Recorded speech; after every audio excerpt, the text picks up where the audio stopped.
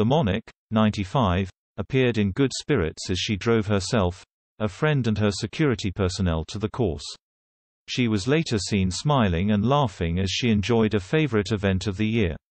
For the 77th edition of the equestrian event, Her Majesty paired a white shirt with a grey checked skirt and a navy padded gilet. After the event, the Queen met Angela Merkel during her final her final visit to the UK as German Chancellor.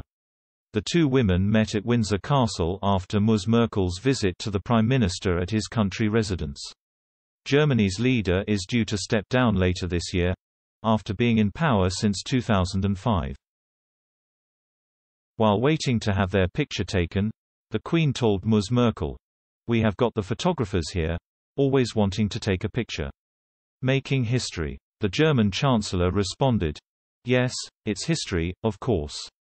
Her Majesty then asked Ms. Merkel if she had seen Boris Johnson earlier that day. Ms. Merkel replied, Yes, in Chequers. During Mr. Johnson and Ms. Merkel's joint press conference, the Prime Minister made sure to mention Germany's football defeat against England at the Euro 2020. He said, I'm very pleased to welcome Angela here on what is the last of I believe her 22 visits to the UK in her 16 years as German Chancellor. And in the course of that time, some things have changed beyond recognition but for much of your tenure, it was certainly a tradition for England to lose to Germany in international football tournaments. I'm obviously grateful to you for breaking with that tradition just for once.